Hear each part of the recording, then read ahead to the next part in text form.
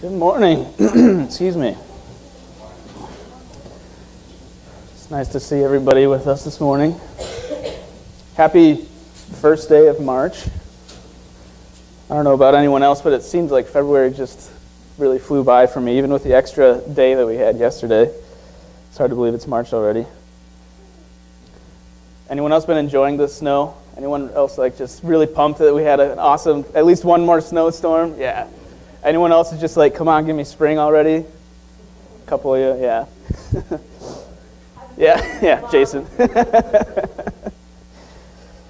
so last week we got to see and hear from Mike about his trip to Zambia. and that was really awesome just to get to, to hear the stories, get to learn a little bit about their culture, how we can be praying for them. And Mike even, he came up with not just the 12 that um, I challenged, but 26 things. Wasn't it 26? I think uh, that he had learned from the trip, so that was great. And it's just cool to see what God is doing and how He's working throughout the world. Um, and I'm just reminded of that fact that God's church is not just North Country Fellowship Church, is it? It's the whole family of God throughout the whole earth, and a lot of other, those families are gathered like we are this morning. Um, some in much larger numbers, but many in much smaller numbers and in smaller spaces, and some even in, in secret. But ultimately, all of us local churches are part of God's global church. And that's just one of my favorite reminders uh, or takeaways from global trips like, like Mike took is to see God working uh, throughout the world. And that would be a great topic to preach on, but it's not, not our topic for today. So we're going to return, obviously, to the life of David. We've been going through and of course, that's King David, just to clarify again, not of, the Old Testament, not me. and we've, we've spent a total of four weeks so far uh, just looking at the narrative of his life. And it's going to take probably one more week at least to wrap the story up, but we're getting towards the end. If you missed any of the previous messages on the life of David, you can uh, catch up on those if you'd like to, all um, online on our website. So we're going to dive in, but I'm going to start with just a quick recap of the things that we've covered so far. Obviously, we haven't unpacked every single detail of the story of David. That would take a lot more than a few weeks, but we did try to hit just kind of the major themes and events uh, that, that happened in this story. So to set the story up, we started in the book of Samuel. After kind of we covered Samuel's story, and then we had this preface of the three themes that we pulled out of Hannah's uh, poem. Samuel's mother Hannah wrote this poetic prayer um, in, in gratitude towards God. And in it, we pull out three themes. The first was that God opposes the proud, but exalts the humble. The second is that God is at work in, in moving his mission forward despite human depravity and evil and, and terrible mistakes that people make. And then finally, the third was that promise that God would provide a Messiah, a Savior King for Israel. And so, those three points, they're not the only lessons, obviously, that we can get from uh, the book, uh, but they are they're major themes, and I've found it to be a helpful framework in understanding the, the point of the story in all of its different pieces and as a whole. So then we looked at David's anointing and how he was chosen by God, anointed by Samuel, to replace Saul and his family as king over Israel, even though David was the last person anyone would have expected God to use or choose. And then we read about how David, with really pure motives um, and, and a humble spirit, defeated the giant Goliath against seemingly impossible odds. And it was because Yahweh was on his side. And David knew that, he believed it, and he totally gave credit to God for that victory. So we saw through all that David's great faith and his humility. Even as he continued to be incredibly successful, he got married to uh, the king's daughter. He became really famous and really just loved throughout all of Israel. But through that, so far in the story, he has stayed humble and respectful, uh, even as Saul turned against him and started trying to kill him and Saul himself kind of descended into madness and self destruction as he declined. And ultimately, his decline led to a violent end for him. But David, when Saul died, instead of celebrating that his enemy, this guy who's been trying to kill him, has died. He mourned the death of his king, and he I didn't we didn't talk about this, but he actually wrote a funeral song for Saul and commanded that all the people memorize this song in honor of Saul and Jonathan. That's pretty cool. So then David became king, and a couple weeks ago, Mike brought us through the story in chapter 6 of 2 Samuel of how David ultimately brought the Ark of the Covenant back uh, or to Jerusalem. And that was just extremely significant because it meant that God's presence would abide with them among the people, and it was just this cause for immense joy and, and celebration. And that's where we left off in the story in chapter 6. So we're going to pick it up uh, back in chapter 7. If you want to turn there to 2 Samuel chapter 7. This is a really significant chapter because, and not just for this book, but for the whole Bible, because it describes what we refer to as the Davidic covenant. So it's a covenant between God and David, and we're going to take a little bit more of a look into what that means uh, to be a covenant in a minute. But first, let's just read through the beginning of this chapter together. We're going to start in verse 1, chapter 7, 2 Samuel. When King David was settled in his palace, and the Lord had given him rest from all the surrounding enemies, the king summoned Nathan the prophet. Look, David said, I am living in a beautiful cedar palace, but the ark of God is out there in a tent. Nathan replied to the king, Go ahead and do whatever you have in mind, for the Lord is with you. But that same night, the Lord said to Nathan, Go and tell my servant David, This is what the Lord has declared. Are you the one to build a house for me to live in? I have never lived in a house from the day I brought the Israelites out of Egypt until this very day. I have always moved from one place to another with a tent and a tabernacle as my dwelling. Yet no matter where I have gone with the Israelites, I have never once complained to Israel's tribal leaders, the shepherds of my people Israel. I have never asked them, Why haven't you built me a beautiful cedar house? Now, go and say to my servant David, This is what the Lord of heaven's armies has declared. I, take you from tending, I took you from tending sheep in the pasture and selected you to be the leader of my people, Israel. I have been with you wherever you have gone, and I have destroyed all your enemies before your eyes. Now, I will make your name as famous as anyone who has ever lived on the earth. And I will provide a homeland for my people Israel, planting them in a secure place where they will never be disturbed. Evil nations won't oppress them as they've done in the past, starting from the time I appointed judges to rule my people Israel. And I will give you rest from all your enemies. Furthermore, the Lord declares that he will make a house for you, a dynasty of kings. For when you die and are buried with your ancestors, I will raise up one of your descendants, your own offspring, and I will make his kingdom strong. He is the one who will build a house, a temple, for my name and I will secure his royal throne forever. I will be his father, and he will be my son. If he sins, I will correct and discipline him with a rod like any father would do, but my favor will not be taken from him as I took it from Saul, whom I removed from your sight. Your house and your kingdom will continue before me for all time, and your throne will be secure forever. So Nathan went back to David and told him everything the Lord had said in this vision. So this whole passage starts off with David basically saying, Hey, there's something wrong with this picture. The fact that I'm living in this beautiful palace made of cedar while God is in this lousy tent. And this is, again, I think, just a glimpse into David's humble heart. I think his desire to, to put God before himself and to. He, his, David's own palace is a symbol of his strength and leadership, and he wanted to elevate God in front of him and to have he didn't want to have more honor than God. And I think that's just a really good motive, and that desire came from a really noble place in David's heart. So he expressed this to Nathan, a prophet of God, who he then just says, okay, yeah, do whatever you have in mind. God is with you. So he's essentially speaking on God's behalf without really consulting God, as far as we can tell, uh, before saying that. And it becomes clear in the next verse that he didn't, because then God does speak to Nathan.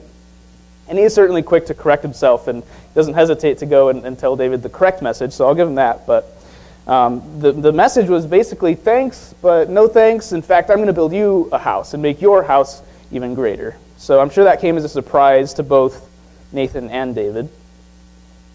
Now, eventually, God will allow a more permanent temple to be built, uh, but we'll, we'll get to that. For now, we're going to shift our focus over to the, the, those next eight verses, so 8 through 16. And this is the section that we call the, the covenant, the Davidic covenant. But before we unpack this covenant, I do want to just take a quick step back and, and look at that idea of covenants and what they are. So, a covenant is a promise, it's a commitment, and it's a partnership. Now, we don't really use that term covenant very often in our day to day conversation, uh, but the one place where I thought of where we might actually use it is in when referring to a marriage as a covenant, a marriage covenant. So, marriage is a promise, and that's why we say vows at a wedding. It's a commitment, it's a partnership. So, I think marriage is just a really good example, uh, a helpful way to understand the significance of what a covenant is. And even God will refer often to his people as being in a covenant, uh, marriage covenant relationship with them, using that analogy of of a bride and groom to describe his love and his commitment to his people and the commitment that he expects back. Now, the, the, the Davidic covenant here is not the first covenant that we've seen in God's story, is it? We've actually covered them here, a few others. So I just want to review those quickly. Now, first of all, some would say that God had a covenant with, with Adam and Eve in the garden, which they then violated, and that that broke their, their partnership with, with God. But that's more of an implied covenant. It's not spelled out specifically. So, aside from Adam and Eve, who can tell me what the first covenant is in the Bible, or with whom the first covenant is? Noah. Yep. I know you know. yeah, I uh, heard it from a lot of people. So that first one is found in the story of Noah, so we call it the Noahic covenant. Uh, it was a promise that God made to Noah, but really to all of humanity, that he would never again wipe out the whole earth like he did in Noah's day. And this was actually a totally unconditional promise. It didn't require anything from humans in return. So no matter how much humans messed up, God was still going to keep this promise. And in fact, what God essentially said was because people, mankind is just so wicked and always will be, I'm promising I won't hit that reset button again. So then, what's the next, the next guy who God makes a covenant with? Abraham. Yep. So, th- and this one we've actually talked quite a bit about because we went through Abraham's story. So, God's covenant with Abraham, or the Abrahamic covenant, was a promise to make Abraham's name great and to bless the whole world through his family, his descendants. Now, this covenant still didn't really require a whole lot of work on Adam's part to make that happen. However, we do see throughout the story that God did require Abraham to have faith and to trust God to lead him. And ultimately, Abraham did pass that test of faith. Though he did mess up in some other ways, he failed to trust God at times, but God still considered Abraham's faith as enough to uphold his end of that, that partnership. So then, many generations of Abraham's family go by and they become a large people group, and eventually we find the third covenant in the story of who? Moses. Yes. So we call that the Mosaic covenant, and I just want to clarify that it's the Mosaic covenant because of Moses, and it doesn't have anything to do with arranging colorful tiles to make a design, a picture. Just if you hear Mosaic, it's, it's Moses, not that. And it's really, a, again, it's a covenant with all of the people of Israel, all of Abraham's descendants, and it was given through Moses. And this covenant actually came with a very specific set of laws, of expectations, which God asked the people to follow. And they're, they're guidelines for living in a relationship with God and with each other. And help them be a healthy and loving community centered around their faith and their worship of Yahweh and his presence and his leadership among the people. So then the people of Israel, of course, agreed to follow those guidelines and to enter that partnership with God. And in that partnership, God would then bless them and, and multiply them, protect them, and they would become a people who represent God to the rest of humanity. And of course, as we all know, they did not do a great job of following that law. But that brings us finally to the last divine covenant in the Old Testament, uh, back to this covenant with King David. So I'm just going to read through this covenant one more time in verses 8 through 16. Now go and say to my servant David, This is what the Lord of heaven's armies has declared. I took you from tending sheep in the pasture and selected you to be the leader of my people Israel. I have been with you wherever you have gone, and I have destroyed all your enemies before your eyes. Now I will make your name as famous as anyone who has ever lived on the earth. And I will provide a homeland for my people Israel, planting them in a secure place where they will never be disturbed. Evil nations won't oppress them as they've done in the past, starting from the time I appointed judges to rule my people Israel. And I will give you rest from all your enemies. Furthermore, the Lord declares that he will make a house for you, a dynasty of kings. For when you die and are buried with your ancestors, I will raise up one of your descendants, your own offspring, and I will make his kingdom strong. He is the one who will build a house, a temple for my name, and I will secure his royal throne forever. I will be his father, he will be my son. If he sins, I will correct and discipline him with a rod like any father would do. But my favor will not be taken from him as I took it from Saul, who I removed from your sight. Your house and your kingdom will continue before me for all time, and your throne will be secure forever.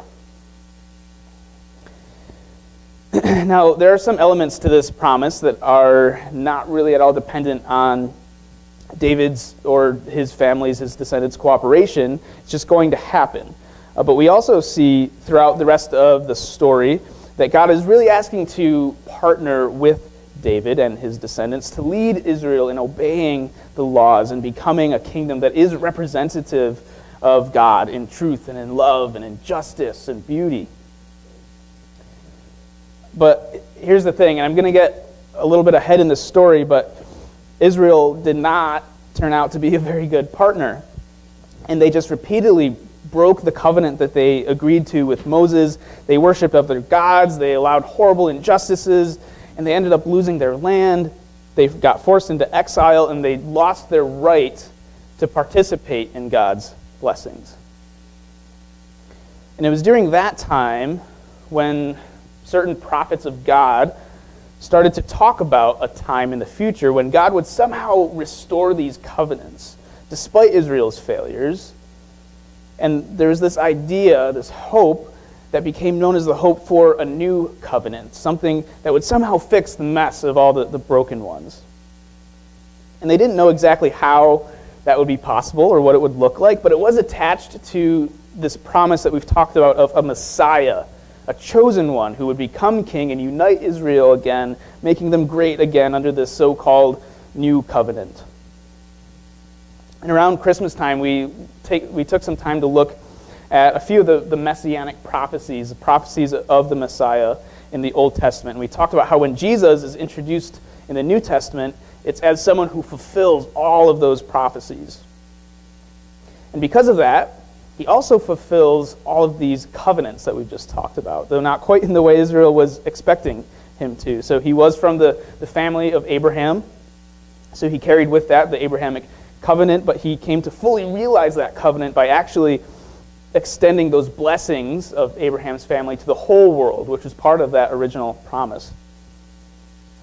And he was the first and only Israelite, or human for that matter, to fully, faithfully, and perfectly obey the law that was given through Moses. So he fulfilled that as well. And he claimed to be the king that was promised to come from the line of David. And he did come from the line of David.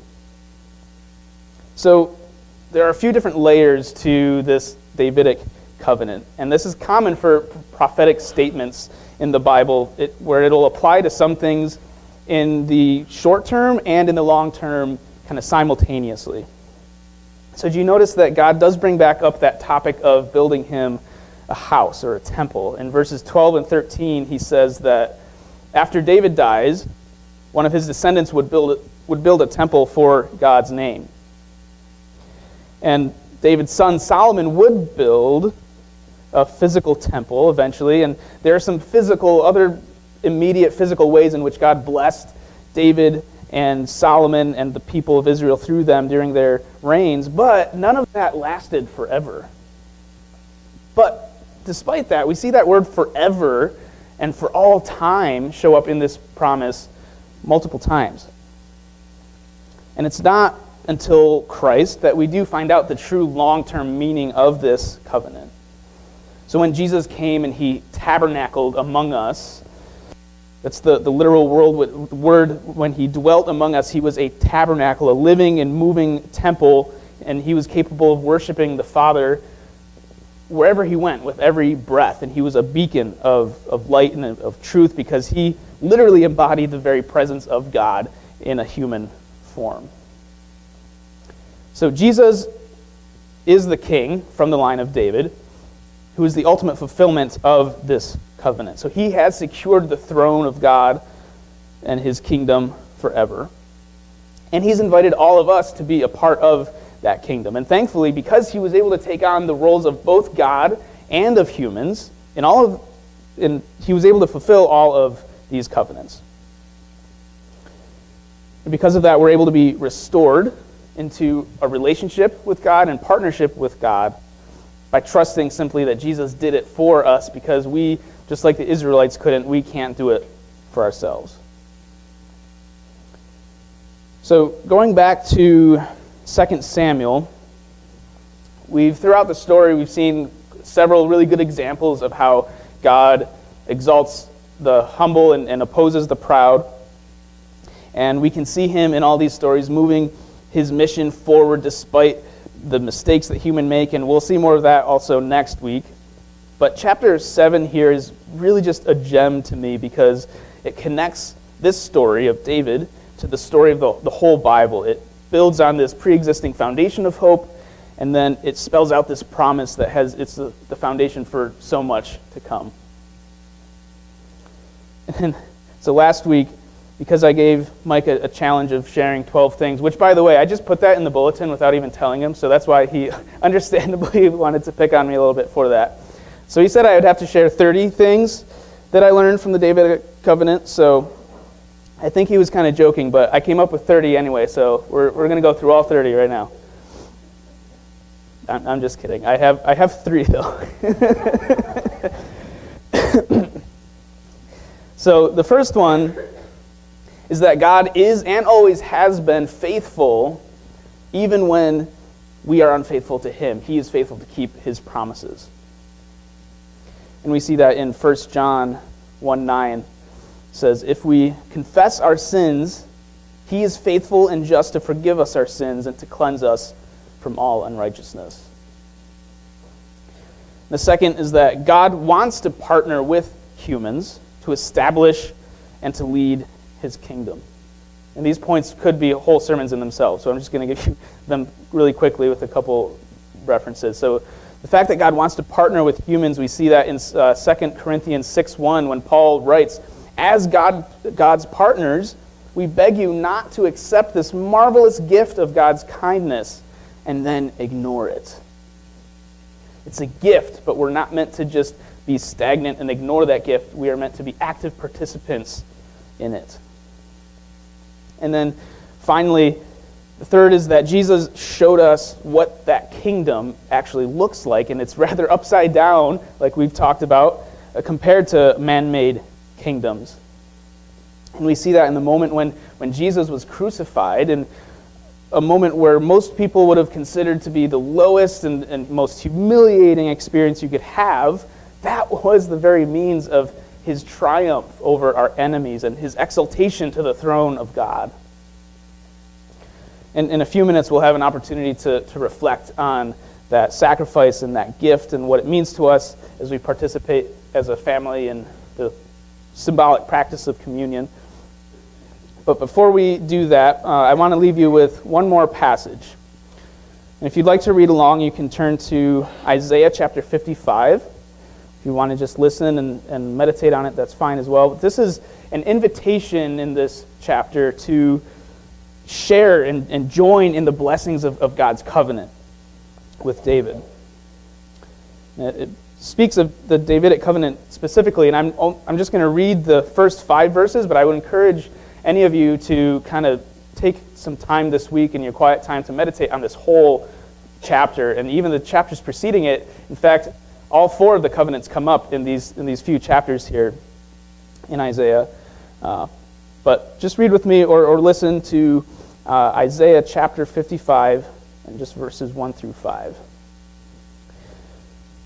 Is anyone thirsty? Come and drink. Even if you have no money, come, take your choice of wine or milk. It's all free. Why spend your money on food that does not give you strength? Why pay for food that does you no good? Listen to me, and you will eat what is good. You will enjoy the finest food. Come to me with your ears wide open. Listen, and you will find life. I will make an everlasting covenant with you. I will give you all the unfailing love I promised to David. See how I used him to display my power among the peoples. I made him a leader among the nations. You also will command nations you do not know, and peoples unknown to you will come and come running to obey, because I, the Lord your God, the Holy One of Israel, have made you glorious. So I just wanted to close with that thought, that idea that God is inviting you to join Him to participate in all of His infinite generosity.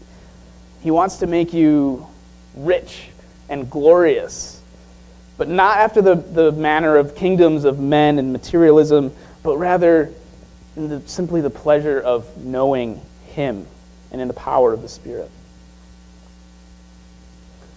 Let's pray.